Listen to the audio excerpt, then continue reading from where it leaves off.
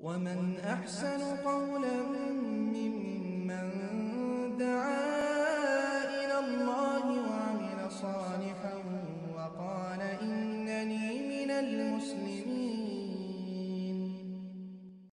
ওয়ালাইকুম আসসালাম রহমতুল্লাহ বরকাত আপনার আব্বা প্রতি বছর জাকাত দেয় জাকাত ওয়াজিব হয়েছে জাকাত দান করে এই বছরও জাকাত দিবি, ইনশাআল্লাহ। আল্লাহ তৌফিক দেব এখানে কোনো সমস্যা নেই। কিন্তু হচ্ছে যে তিন দিন আগে দশ লক্ষ টাকা আসছে। তার কি জাকাত দিতে হবে? না, তিন লক্ষ টাকা, দশ লক্ষ টাকার জাকাত এইটা যেটা তিন দিন আগে আসছে। আগামী বছর এই সময় তিন দিন আগে। আজকে কত তারিখ? এই তারিখ অনুযায়ী তিন দিন আগে আগামী বছর এইরকম জাকাত দিবে। এই দশ লাখ টাকার জাকাত এখন আসবে না। হ্যাঁ সে যদি মনে করে, অগ্রিম আমি জাকাত দিয়ে দিলাম। এই দশ লক্ষ টাকার অগ্রিম জাকাত দিয়ে দিলাম, যেহেতু রমজান মৌসুম, এটা শরীয়তে বাধা নেই। অগ্রিম দিয়ে দিলি।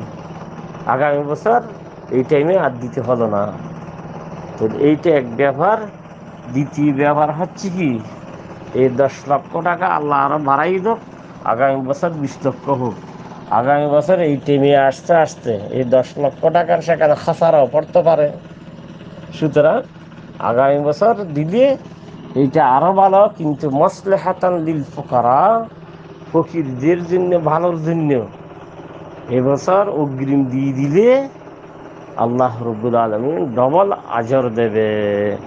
একটু অগ্রিম দিয়েছে এই জন্য আজর সবাব আর একটা জাকাত দিয়েছে, এইটা সবাব ডবল সবাব পাইবে এবং তাকে বলবেন যে নিকট আত্মীয়দেরকে বেশি বেশি।